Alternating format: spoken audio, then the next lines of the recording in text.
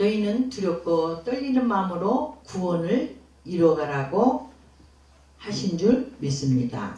자, 오늘의 본문의 말씀은 잠언 19장 23절을 보시겠습니다. 잠언 19장 23절. 시작. 여호와를 경외하는 것은 사람으로 생명에 이르가는 것이라. 경외하는 자는 족하게 지내고 재앙을 만나지 아니하느니라. 아멘. 여호와를 경외하는 것은 사람으로 생명을 이르게 한다고 했는데 이 우리가 생명에 이르게 하려면은 이 경외가 뭐냐를 알아야 되잖아요. 그래서 이 경외는 잠언 8장 13절을 보시겠습니다. 나는 악을 미워한다. 그러나 첫 번째 나는 교만과 거만과 악한 행실을 미워하느니라. 할렐루야. 그래서 이 교만 우리는 이 교만이 뭔지를 몰라요. 근데 디모데전서 6장 어, 3절에 말씀을 멸시하는 자가 말씀을 멸시하는 자가 교만한다는 걸 믿으시기 바랍니다. 이 말씀 멸시 우리 지금 남을 미워하고 시기하고 질투하고 아주 악한 행실을 다하면서도 그 죄에 대해서 그렇게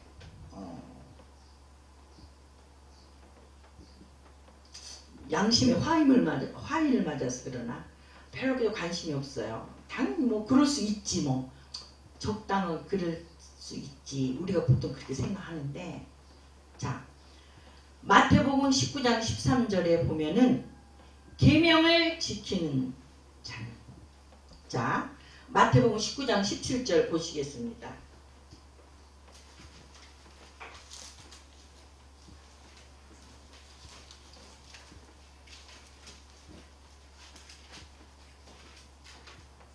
마태복음 19장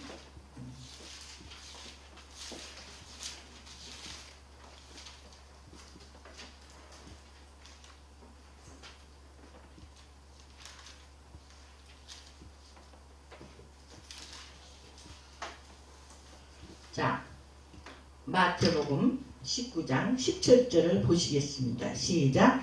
예수께서 가라사대 어찌하여 선한 일을 내게 묻느냐 선한 일은 오직 한 분이신다. 내가 생명에 들어가려면 계명들을 지켜라. 할렐루야. 이 생명에 들어가려면 생명에 들어가려면 계명을 지켜야 된다는 걸 믿으시기 바랍니다. 할렐루야. 그래서 여호와를 경외하면은 족하게 지내고 재앙을 만나지 않는다고 분명히 말씀하셨건만 우리는 이 말씀을 너무도 소홀히 생각하고 살아간다는 걸 믿으시기 바랍니다. 할렐루야. 그래서 이 계명을 지켜야지만이 생명에 이르게 한다고 그랬는데 우리는 이 계명을 지킬 수가 없어요. 그래서 이 땅에 예수 그리스도가 오셨다는 걸 믿으시기 바랍니다. 자, 예수 그리스도께서 이 땅에 오셔서 우리는 이 계명을 지킬 수 없기 때문에 우리의 모든 전무후무한 죄를 다 십자가에서 피를 흘리시면서 우리의 죄를 다 청산하셨다는 걸 믿으시기 바랍니다. 그래서 이렇게 우리 주님이 돌아가시고 난 다음에 내가 너희에게 보이사 성령을 보내리라. 그 성령이 내 마음에 오셔야지만이 우리가 이 계명을 지킬 수 있다는 걸 믿으시기 바랍니다. 그럴 때 족하게 지내고 재앙을 만나지 않는다는 걸 믿으시기 바랍니다. 그런데 이 여호와를 경외한다는 게 무엇이냐? 잠언 8장 13절에 나는 악을 미워한다. 그러나 첫 번째 교만 말씀을 멸시하고 나는 교만과 거만과 악한 행실과 폐역한 모습을 미워한다. 할렐루야. 우리는 이런 일들을 이런 범죄를 하면서도 뭐 그럴 수 있지. 우리의 죄를 소홀히 생각한다는 걸 믿으시기 바랍니다. 그럴 때 마귀들은 그걸 통해서 그걸 이용해서 우리 마음속에 와서 자리를 잡고 있다는 걸 믿으시기 바랍니다. 그러나 이 말씀이 나에게 있다면 이 말씀으로 말미암아 그 더러운 것들을 악한 것들을 다 밀어낼 수 있는 이름이 있다는 걸 믿으시기 바랍니다. 그 이름은 곧 예수 그리스도라는 걸 믿으시기 바랍니다. 그래서 요한, 요한복음 15장 1절에 어, 하나님께서 나는 농부라 음, 너희는 바시오 집이라고 했습니다. 그래서 우리는 이 집의 주인이 누굽니까? 예수 그리스도라는 걸 믿으시기 바랍니다.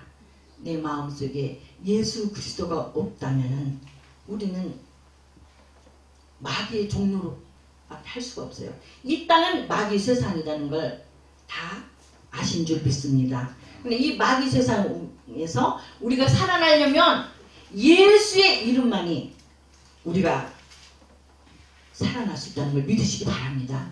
우리에게는 하나님께서 세상을 이길 수 있는 마패를 주셨다는 걸 믿으시기 바랍니다.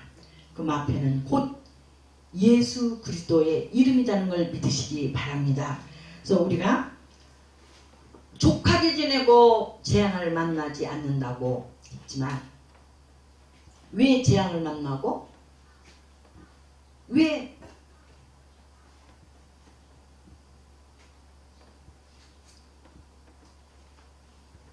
악한 행실로 말미암아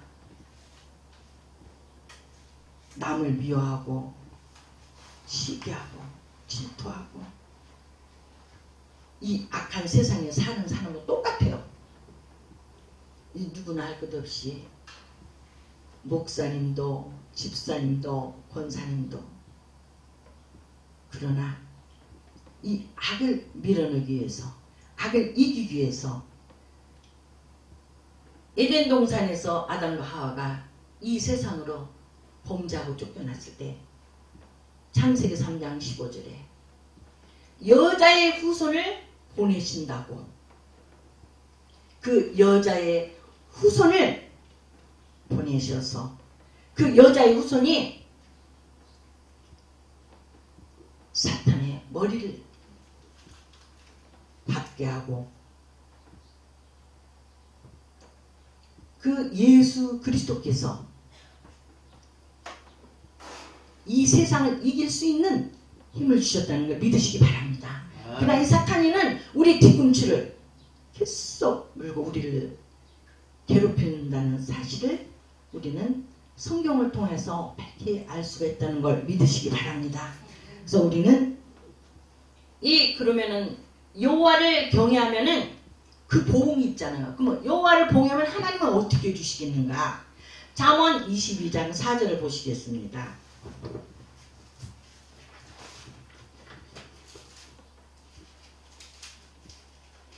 잠언 22장 4절을 보시겠습니다. 시작.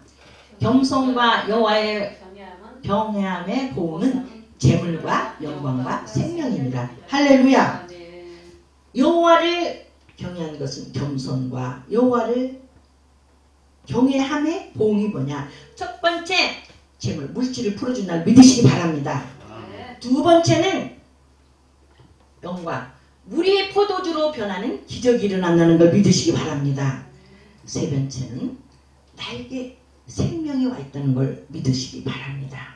자, 우리는 축복, 축복, 축복을 어느 누구도 싫어하는 사람이 없는 줄 믿습니다. 그러나 이 축복을 우리가 좋아하면서도 이 축복을 어떻게 받는지를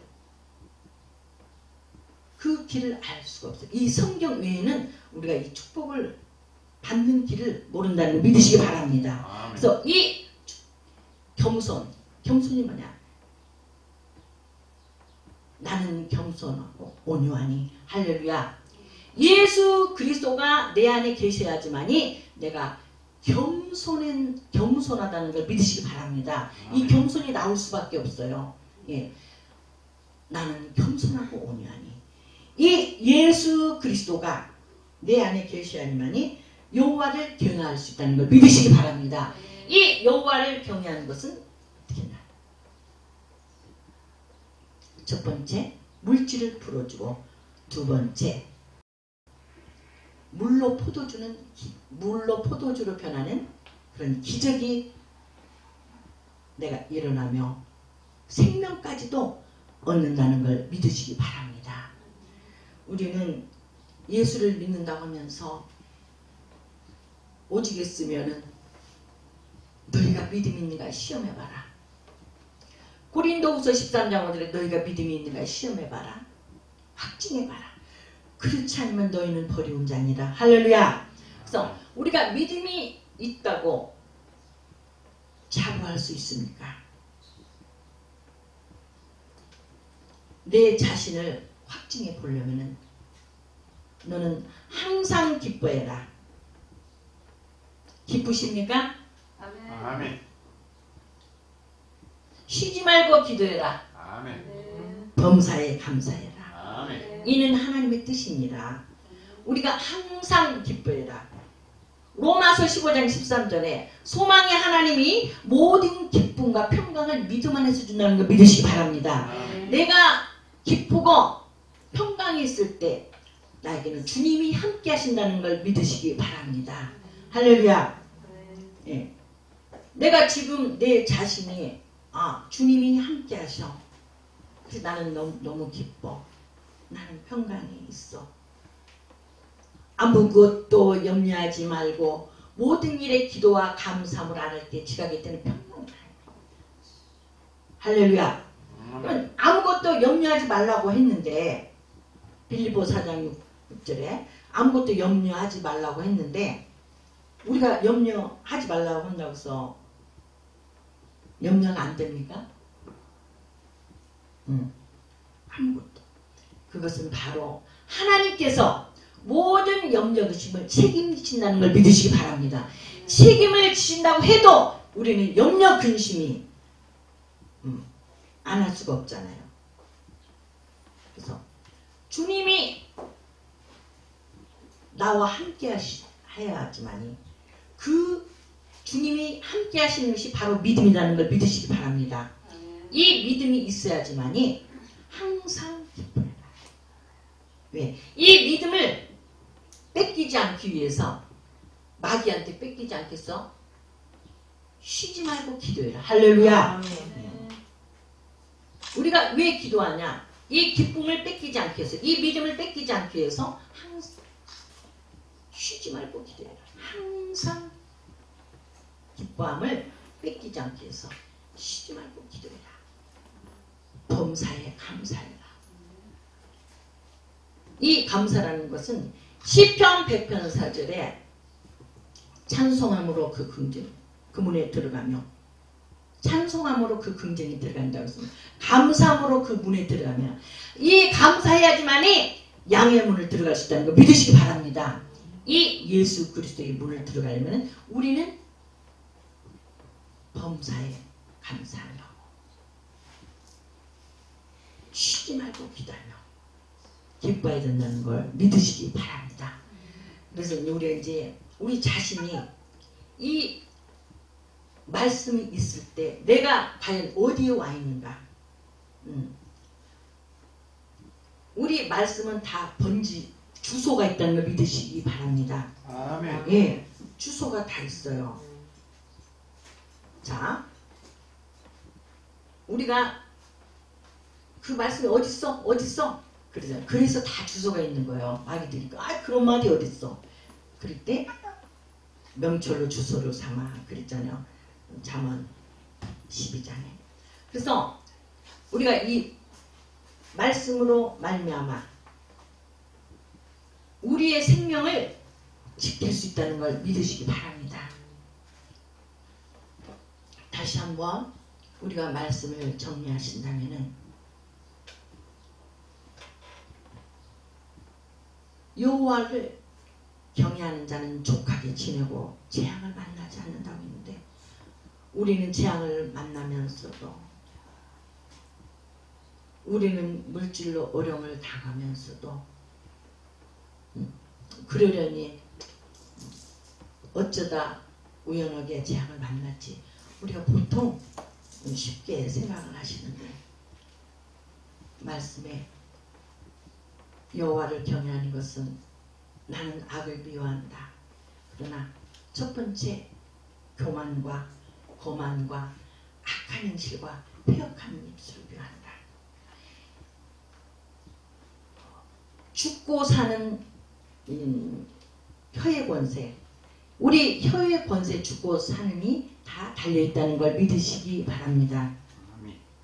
잠언 18장 21절에 죽고 사는 혀의 권세. 지금 우리는 수많은 영혼들을 죽이고 살리고 우리의 입술에 있다는 걸 믿으시기 바랍니다. 그래서 오늘도 이 HB 방송을 통해서 잠자는 영혼을 깨우며 어둠의 자식을 빛으로 인도하시기 위해서 이 입술로 말미암아 한 영혼을 살리기 위해서 이처럼 오늘도 하나님께 우리가 시간을 드리며 하나님께 영광 돌고 있다는 사실을 우리는 정말 하나님께 감사될 줄 믿습니다. 그러나 먼저 우리가 먼저 하나님 앞에 바로 서서 우리는 경건의 훈련을 통해서 믿음이 자라고 있다는 걸 믿으시기 바랍니다. 지금 오늘도 우리가 경건의 삶을 통하여서 경건의 훈련을 통해서 하나님 앞에 우리도 계속 성장하고 있다는 걸 믿으시기 바랍니다. 그래서 어떤 용서 못할 사람이 있어도 이해하지 못할 사람이 있어도 우리를 용서하며 이해하며 이처럼 경외하는 삶을 살 때 남을 나보다 더 낮게 여기며 고와 가부를 불쌍히 여기며 입술에 재갈을 불리며 이 경건의 훈련을 통해서 계속 이 땅에서 많은 영혼들을 복음을 전파하는 우리 주의 종들로서 부족함이 없는 저와 여러분이 되시기 바랍니다. 아멘. 그래서 이제 우리가 이 여호와를 겸손과 여호와의 복음은 잠언 22장 4절 겸손과 여호와의 복음은 예수님이 내 안에 계셔야지만이 경건한 삶을 살 수가 있고 이 경외했을 때 여호와를 경외했을 때 첫 번째 물질을 풀어주며 물이 포도주로 변하는 기적이 일어나며 생명이 내 안에서 자라고 있다는 걸 믿으시기 바랍니다. 그래서 오늘 이 말씀을 통하여서 날마다 경건의 훈련의 삶을 살 때 나가도 복을 받고 들어가도 복을 받을 수 있는 저와 여러분이 되시기 바랍니다. 아멘. 감사합니다.